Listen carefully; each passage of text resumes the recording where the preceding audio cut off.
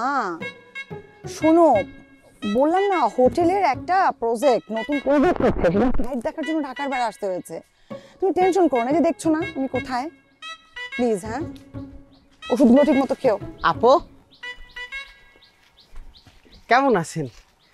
আপনি এইখানে আমি আরও কত জায়গায় বিছরাইলাম আপনার? ভাইয়ের বাড়ি তারপরে আরও কত মূল্যকে খুঁজলাম আপনাকে পাইলাম না।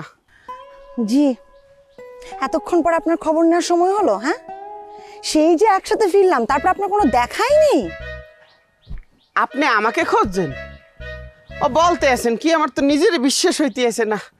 এ যদি আগে বলতেন তাহলে তো আমি আপনার সাইড পেস দিয়ে লাডি মেনটেন ঘুরতে থাকতাম সব সময় জি না আপনাকে আমি এতটাও খোঁজাখুঁজি করছি না যে আমার আগে পিছিয়ে কি- কি বললেন না, লাটিমের মতো ঘোরপেচ খাইতে হবে হ্যাঁ? আসল কথায় আসি। সেটা হচ্ছে যে আমরা যে লাইফের রিস্ক নিয়ে এতগুলো টাকা মেরে দিলাম সেগুলো আপনি কি করবেন হ্যাঁ? আমরা একটা ব্যাংকের লাইসেন্স কিনবো। এত কিছু থাকতে ব্যাংকের লাইসেন্স কেন কিনবেন? আমরা সেই লাইসেন্স দিয়ে একটা ব্যাংক খুলব। সেই ব্যাংকে মানুষজন টাকা রাখবে। আর সেই টাকা আমরা ফেরত দেব না। সিম্পল বাহ খুব ভালো। কোনোদিন শুনেছেন যে ব্যাংকে আমানত রাখলে সেই টাকাটা আমানতকারীকে ব্যাংক ফেরত না দিয়ে পার পেয়েছে? যেন একটা গোলক ধাঁধা, দাদা। দুনিয়াটা যেন একটা গোলক ধাঁধা। পাওয়ার নেশায় ঘুইরা ঘুইরা, পাওয়ার নেশায় ঘুইরা ঘুইরা হইছি আধারে। দুনিয়াটা যেন একটা গোলক ধাঁধা, দাদা। দুনিয়াটা যেন একটা গোলক ধাঁধা।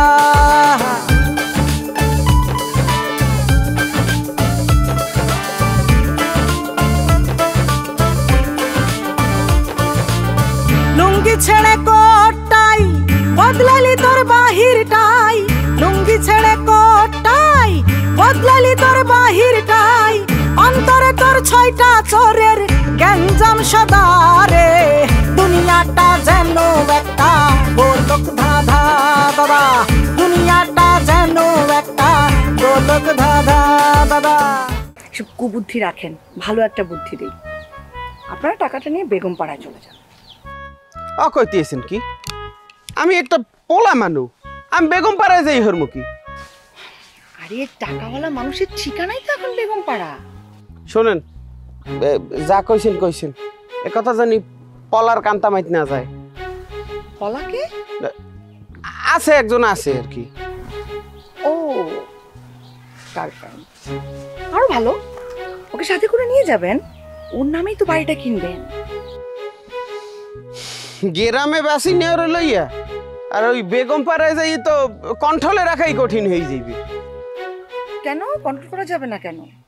আরে নিজে গো পাড়াই তো হেরে লইয়া টেকা মুশকিল হয়ে যায়। এরপর এই বেগম গো পাড়ায় লই গেলে তো হেরে মাথায় লই নেচা লাগবে। আরে বাবা আপনি তো বেগম পাড়া বিষয়টাই বুঝতে পারছেন না। এটা তো আমাদের দেশের মধ্যে না দেশের বাইরে। ও কন কি? মগদেশের বেগম গো নাম লইয়া বিদেশে একটা পাড়া হয়েছে মগদেশের মাতারিরে এত আগে গেছে।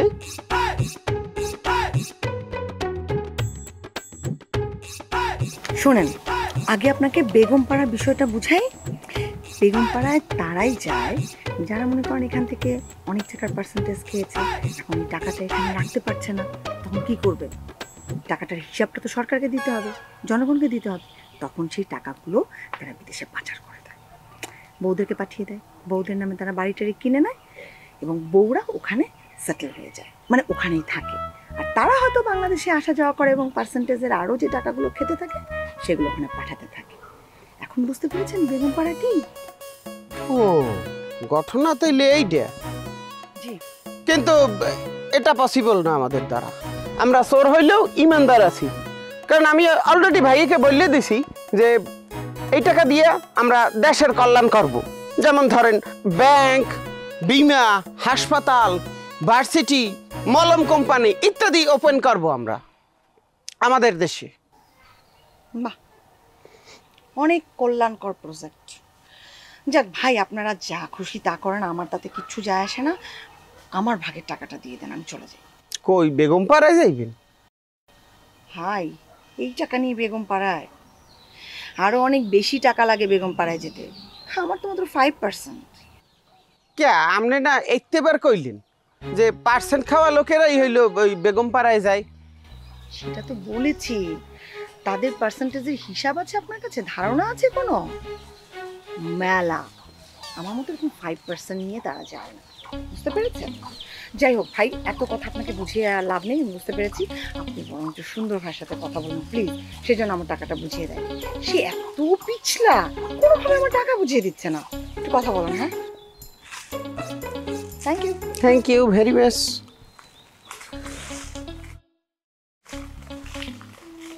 হ্যাঁ মনু, যাই কও না কও, টাকা পয়সার ব্যাপারে মইও কম পিছলে না।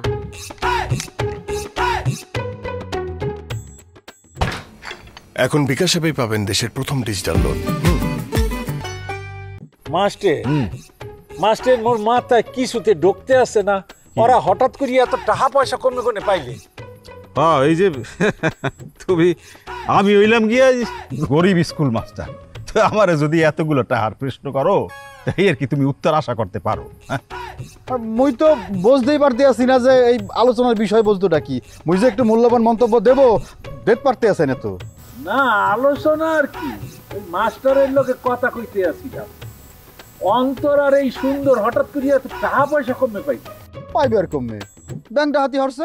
দাদা বেড়া কি আজে বাজে কথা ব্যাংক ডাহাতি তোর কইছে না কি ব্যাংক ডাহাতি হচ্ছে স্যার চোর কি কোনোদিন বলে যে হ্যাঁ চুরি ঘরছে হ্যাঁ বলে? শুনছেন কোনোদিন? এ তুই কি উল্টা পাল্টা কথা কয় কুটিকাল গনে ওগর দেখি না? অগপক্ষে কি ব্যাংক ডাহাতি করা সম্ভব? তুই কইলি হয়ে গেলে।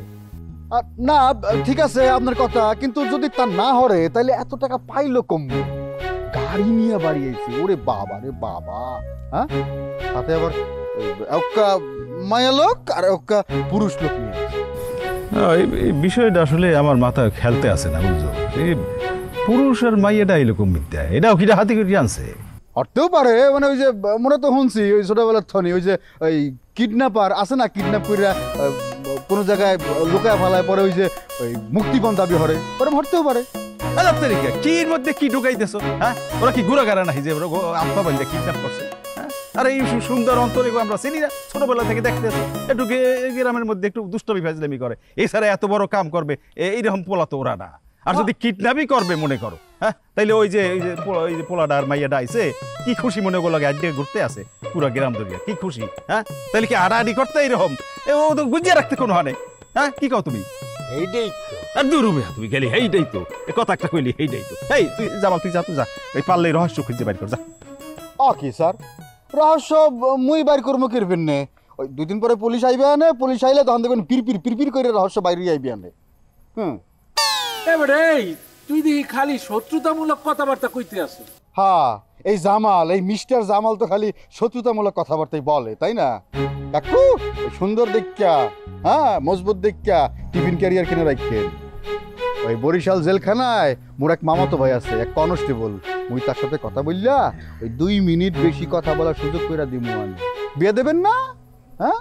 মায়ের বিয়ে দেবেন না? ওই যে ইয়ার লগে, অন্তরের লগে? হ্যাঁ তো জেলে গেল বললা এই জামানি এই এই এই তুই এইসব কি কথাবার্তা কর না বল এই মাথা পেলাম গরম হইতে আছে। পরে কিন্তু তুই বেপদ হইবে তুই কইলাম ঠিক মতো কথাবার্তা কইয়ে দিলাম। এই তুই যা তো বাবা হেন্দে যা। আমরা দুই মুরব্বী কথা কইতে আছি তুই ছোট মানুষ তোর এখানে কথাবার্তা খাড়ে না বুঝলো? তুই যা। কি স্যার মুই কি একটু কথাও বলতে পারব না?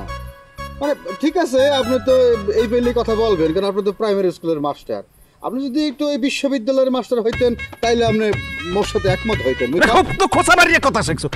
যা তো যা যা সর। যা যা যা সর। যাইতে আসি যাইতে যা হ্যাঁ যা যা সর। আমি একজন মাস্টার মানুষ আমার লাগে কীভাবে কথা বলতে হয় সেটাই শেখে নাই। হ্যাঁ? এটা একটা কথা হইলে। করতে- গিরিঙ্গি একটা ফাজিল। গলাটা হুগাই গেছে একটু চা খাই দেই মসজিদের দোকান খোলা আছে নাকি চল দিই চা খাব। এদিকে এদিকে। হ্যাঁ বিল্টু হ্যাঁ আমি পজিশন মতোই আছি। আর তোরা একটু পালা গা ঢাকা দিয়ে থাকবে আমি দেখতেছি বিষয়টা। ঠিক আছে? রাখি। এদিকে কি ব্যাপার? আপনি এরকম ইশারা ইঙ্গিতে ডাকতেছেন কিন্তু রাতের বেলা? বাবা নিজেকে মনে সালমান খান মনে করেন? যে আপনাকে আমি ইশারায় ডাকবো? শোনেন আটানা পয়সাও আদায় করতে পারবেন বলে মনে হচ্ছে না। কে? টাকা আদায় করতে পারব না কে? যে পিছলা পিছলা। ভাগের টাকা দিবে বলে মনে হয় না। আচ্ছা তাহলে আমাদের করণীয়টা কি? সারাদিন তো ছলে বলে কৌশলে অনেক চেষ্টা করলাম। পারলাম না। আমার মনে হচ্ছে যে এখন আমাদের একটু জোর করতে হবে অন্যায় করতে হবে। অন্যটা করব কি করে? এটা তো আমাদের কান না। সবার সামনে মাথায় বাড়ি দিলে সবাই তো ঝামেলা করে ফেলবে। আর আমার ওই যে একটা একটা ছিল না মেশিন সে তো আবার নিয়ে আটকায় রাখছে। যদি আমার কাছে থাকতো তাহলে মাথায় ধইরা আচ্ছা আপনি তো এই লাইনে অনেক দিন তাই না? হুম। মানুষকে অজ্ঞান করে দেখি একটা যে ওষুধ দিয়ে গাছ আপনার কাছে? আরে আমি তো ওই কাবি করি। আছে মানে অবশ্যই আছে। তো সেটা বের করেন। আরে আপনি একজনের নাকের কাছে ধরবেন আমি একজনের নাকের কাছে ধরবো। অজ্ঞান হওয়ার সাথে সাথে গাড়ি নিয়ে ফুট। শোনেন সবচেয়ে পজিটিভ দিক হচ্ছে গ্রামের লোকজন এখনও আমাদেরকে চেনে না। ফাইন চল আসুন। এই এই সর্বনাশ হয়ে গেছে তো আমি তো ওই জিনিস আনি নাই। ঢাকায় তালা দিয়ে চলে আসছি আমি। আপনি কেন আসছেন হ্যাঁ? আপনার এই বৎসরটা দেখাইতে আসছেন? ক্যা চেহারা ভালো না। জানাই না গিয়ে দেখেন বিশ্বাস না হলে মোবাইলে সেলফি তুলে দেখেন। ওরে ভাই আপনার একটু ঠান্ডা খাওয়া দরকার। বুঝতে পারছেন? মাথাটা একটু ঠান্ডা করেন। যেই পরিকল্পনা আমরা করতেছি এইটা যদি সুন্দর জানতে পারে তাহলে সুন্দর আমাদেরকে অসুন্দর করে দিবে হ্যাঁ সেটাই। আমরা আসলে কি পরিকল্পনা করতেছি সেটা জানার জন্য সে আমাকে পাঠাইছে। টেস্ট করার জন্য প্রায় তো ধরা খাইছিল যাক শোনেন, বিশ্বাস উঠে গেছে। পৃথিবীতে কাউরে বিশ্বাস করার কোনো ওয়ে নাই, বুঝতে পারছেন? বিশ্বাসের মায় মরে গেছে। এখন তো যাওয়া যাবে না, তাহলে আবার বসি, চলেন। আসুন। আমার জিনিসপত্র নিয়ে গেছে সিজ করে। মাথার উপরে ধরলে গুলি করে দিলে ফুটুস সব। শালা পেশেন্ট ফেশেন্ট সব নাই, জিনিসপত্র নাই, অজ্ঞান করা নেই। এটা কোনো কথা? এতগুলো টাহা, টাহাগুলো তো একটা নিরাপদ জায়গায় রাখা লাগে। এই দুই আলার হলারে এই রেক্সোনা আর হাসান, আমার কিন্তু বিশ্বাস হয় না। দেখা গেলো ঘুমাই রয়েছি হাসান নিয়ে হালার হলায় তো চিন্তাই গেড়ে গেছিল। দেখা গেলো একটা কোনো গ্যাস স্প্রে করিয়ে দিছে মোরা বেউস তিন দিন পরে হসপিটালে জ্ঞান ফেলল দুই হাতে দুইটা চালাই এগুলো কি করবি? ভাই আমার রেক্সোনারে বেশি ডেঞ্জারাস মনে হয়। হ্যাঁ ঠিক কথাই কইছিস বেশি বুদ্ধি। সমস্যা আছে। হাসান যে অবশ্য মাথা ফুলা। আর হলো দর মাস কাঠ। আচ্ছা দুইটারে দুই ঘরে হান্দাইয়ে তালা মারি থুই দেওয়া যায় না? কি কমর যে ঘর ও তালামারি লাভ আছে? তো যে কোনো দিক দিয়ে বেরিয়ে যেতে পারবে।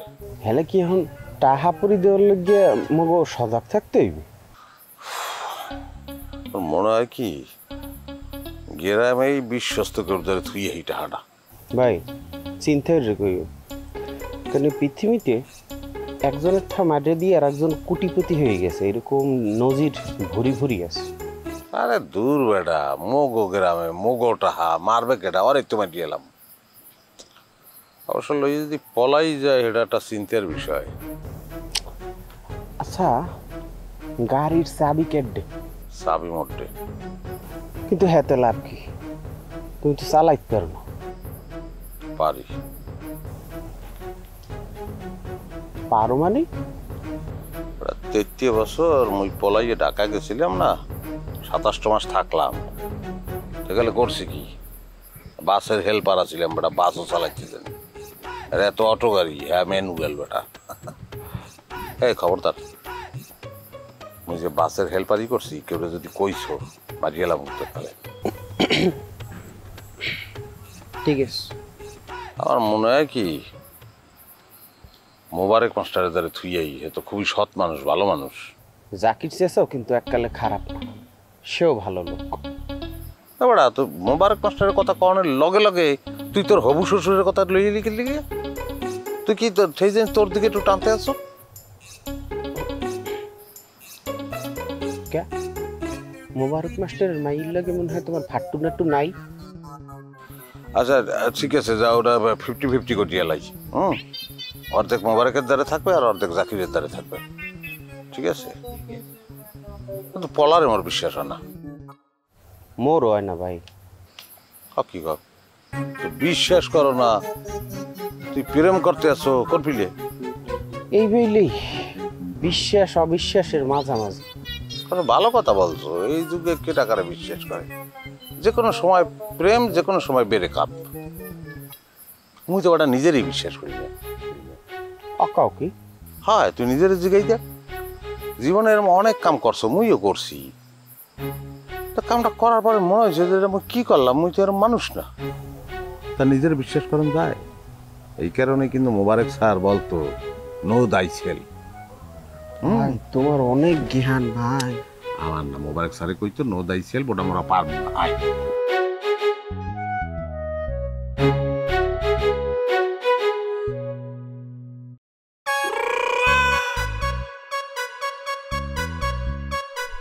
যে গাড়ি নিয়ে ওরা চলে যাচ্ছে আপনার সাথে যান। আমি যাব কিছু দিন আরে বোকা নাকি ওরা যদি টাকা নিয়ে চলে যায় আর ফিরে না আসে তখন কি করবেন হ্যাঁ?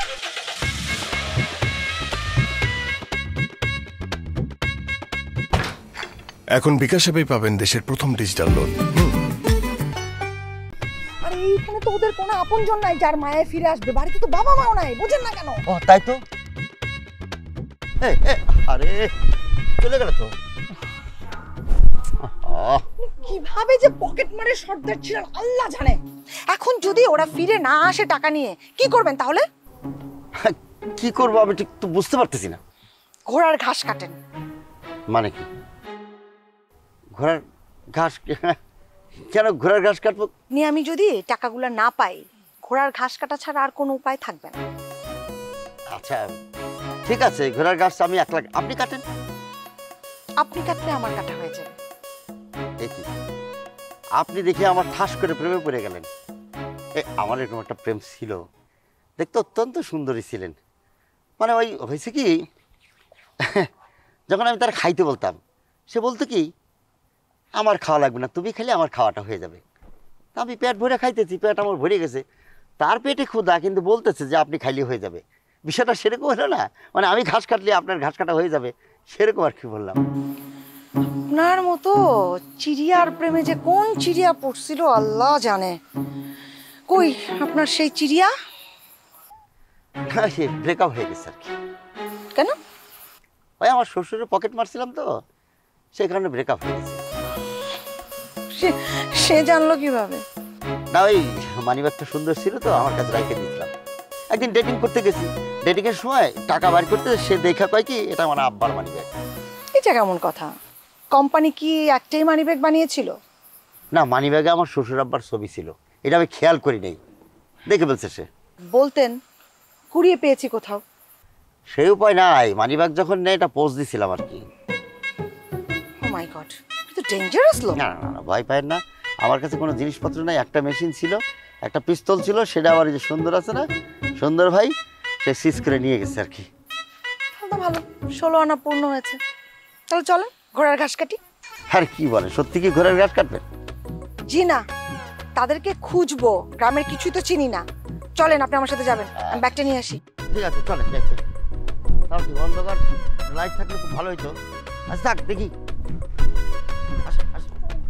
চলেন।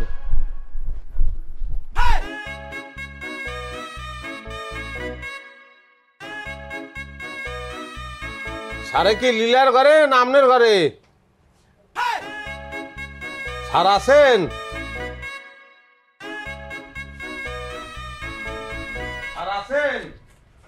এটা? এই। স্যার ওই, মোরা স্যার কি ব্যাপার? এত রাইতে? এই বাড়িতে? স্যার আইসি এখন। আমনে স্যার যতই দূর দূর সাই সাই করেন দাওয়াই রাখেন। কিন্তু আদতে হেল্পিং প্লিজ আদতে এই গ্রামের মধ্যে এক মোবারক বিএসসি ছাড়া একটা লোকরেও মোরা বিশ্বাস করি না। একবার। ওই চিরাবিজান্য কথা বাদ দিয়া সোজাসুজি ক কি মতলব নিয়ে এত রাইতে আইছো আমার বাড়িতে? ওটা তো স্যার আসছি আসছি এই যে জুট কি এগুলো কি? বস্তা। তা বস্তা তো হ্যাঁ দেখতেই পাইতে আছি বস্তার মধ্যে কি? হট ইজ ইন দি বস্তা? বস্তা ইন যে হট ই ওটা open I am. Okay then? Opening that is এই যে।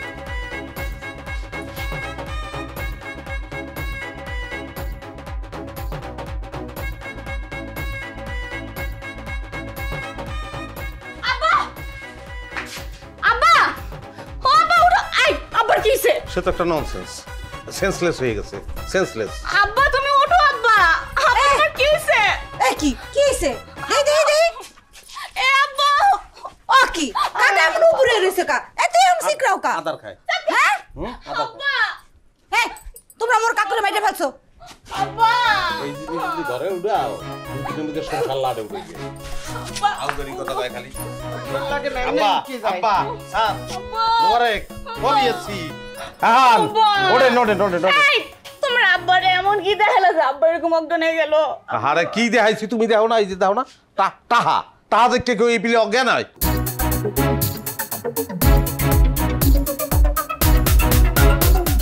আমি এই বাড়ির লোক। কি বললেন আমনে এই বাড়ির মানুষ শোনেন এইটা গ্রাম গ্রামে কিন্তু একটা সমাজ ব্যবস্থা আছে।